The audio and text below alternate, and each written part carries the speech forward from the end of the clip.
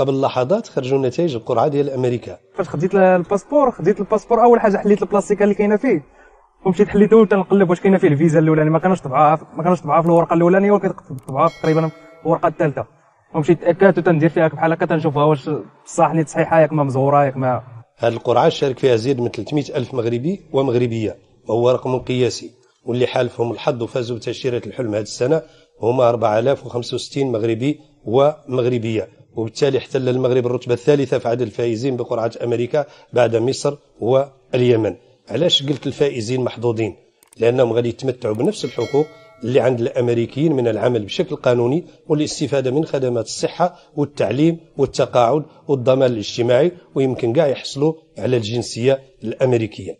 هذه القرعة ما يمكن يشارك فيها إلا الأشخاص الحاصلين على مؤهل علمي من البكالوريا للفوق. ولا رجعنا لعدد الناس اللي تسجلوا في القرعة وباغيين يخو المغرب. غادي نلقاو 300 ألف كل سنة أي أن 300 ألف مغربي ومغربية عندهم مؤهل علمي عالي وقاريين وواعيين باغيين يهاجروا ويخووا البلاد. وهذا رقم مخيف وكيبين لنا فشل السياسة والسياسيين وفشل كل الاستراتيجيات اللي اتبعتها جميع الحكومات المتعاقبة على هذه البلاد هذه السعيدة.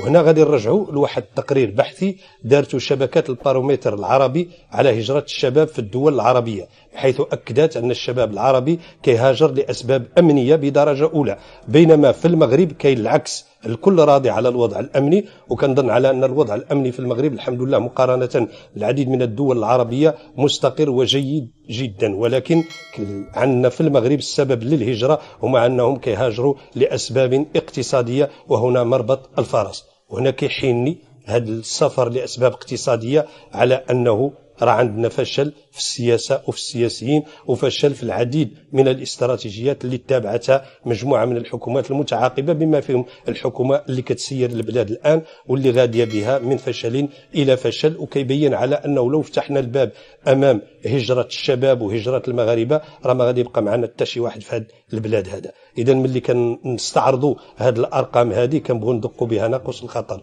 وكنبغوا كنقولوا على أنه رانا كنخسروا على أولادنا وعلى بناتنا في التعليم وكنقروهم وكنكونوهم وفي التالي كيمشوا لكندا ولا الولايات المتحدة الأمريكية. على مدار سنوات طويلة غادي نلقاو الملايين ديال المغاربة اللي كيتواجدوا في مجموعة من الدول الأوروبية والأمريكية وكندا بالخصوص. اذا هنا غادي يحن على واحد القضية تفكرتها الآن. والشيء بالشيء يذكر وهو على أنه سؤال توجه لوزير التعليم العالي على استعادة الأطر والأدمغة اللي هاجرات من المغرب. وكان واحد البرنامج اللي طلقوا اللي تكلم عليه وزير التعليم العالي هو برنامج وينكم. وهذا وينكم في الحقيقة كتحيني على قصة طريفة جدا في الحسانية. في الحسانية عندنا واحد واحد المسألة كان قال غزي ناس قبائل كتهجم على قبائل. واحد قبيلة هجمت على قبيلة السيد في الخيمة ديالو ناعس مراته جات تفيق فيقاتو قالت له نوض راه غزيجه يعني على انه الناس راه هاجمة عليكم غادي تقتلكم قال لها فين المدفع ديالي؟ فين السلاح ديالي؟ قالت له السلاح ديالك راه حدا راسك. قال لها يقلعبوك وين هو راسي. هو كاع ما عارف راسه حتى نحن هذا وزير التعليم العالي كيقول لك وينكم؟ وينكم الناس راه مشات معالي الوزير شحال هذه وهاجرات وكتهاجر وكتخوي البلاد ولو اتيحت الفرصة تخوي البلاد. أنا بغيت سؤال واحد نطرحه هاد استعادة هاد الناس هادو في هاد البرنامج اللي وينكم؟ يعني كيتسالوا فينكم؟ الدارجة كنقول له ودي اش وجدتوا لهم شنو هي الاستراتيجية؟ شنو هي الإغراءات؟ شنو هي الإمكانيات اللي عندنا حنا وأنتم كتصرفوا على 0.5 على على ميزانية البحث العلمي؟ إذا لاش غادي يرجعوا هاد الناس اللي غادي يلقاو واحد الوضع جيد جدا فيه؟ الكفاءات ماشي الولاءات ما فيه لا محسوبية لا رشوة لا باك صاحبي لا حتى شي حاجة. دخلت عليك بالله لاش غادي يرجعوا.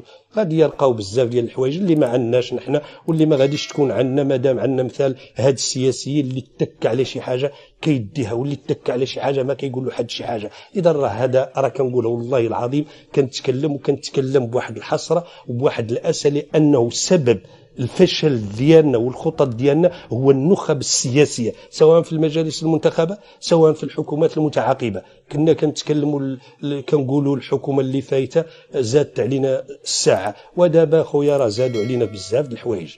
غير زيدوا علينا في الساعة وزيدوا في ساعتين ولكن ما تزيدوش بزاف ديال الحوايج. اليوم تي كنتكلموا على هجرة العقول وهجرة الكفاءات وحتى واش الدجاج حتى هو هاجر لأنه ولا بثلاثه الدولارات وأنا ياك ما هاجرت الولايات المتحدة الأمريكية مع هذه القرعة هذه. وراه كثرت الهم تضحك والله العظيم ما بقينا فاهمين والو مع هذه الحكومة. وما بقينا فاهمين والو في بزاف ديال الحوايج. واش عباد الله غير اللي لقى شي حاجة كيديها؟ اللي واش كنقولها وكنأكدها؟ راه ناس كتدخل ما عندها التريال وكتولي دي ملياردير. راه رأفة بهذا الوطن. وشويه الكبد على هذا الوطن؟ أقسم بالله العلي العظيم. راه الفرق بيننا وبين الولايات المتحدة الأمريكية اللي كيهاجروا لها بناتنا وولادنا واحد الفرق هو المعقول هو المصداقية هو السياسيين كيحترموا نفوسهم وكيقدموا استقالتهم إلى فشلوا المسؤول اللي دار خطأ واحد بسيط جدا كيساءل نفسه وكيقدم استقالته. إحنا ما عندنا حد يقدم استقالته ما عندنا حد كيفشل وكيقدم وفاشلين أغلبهم فاشلين وكيخرجوا العينين. كما كنقولوا بالحسانية يسرق ويقاحر يعني كيدير كي فاشل وكيخرج فيك العينين. ورأفة بنا شوية. الله يجازيكم بخير. واللي كيقول لك علاش غادي لاش غادي يرجعوا؟ لاش غادي يرجعوا؟ علاش غادي يرجعوا؟ راه الوضع الاقتصادي والسياسي عندنا في البلاد مع هذه الحكومة هذه راه هش جدا.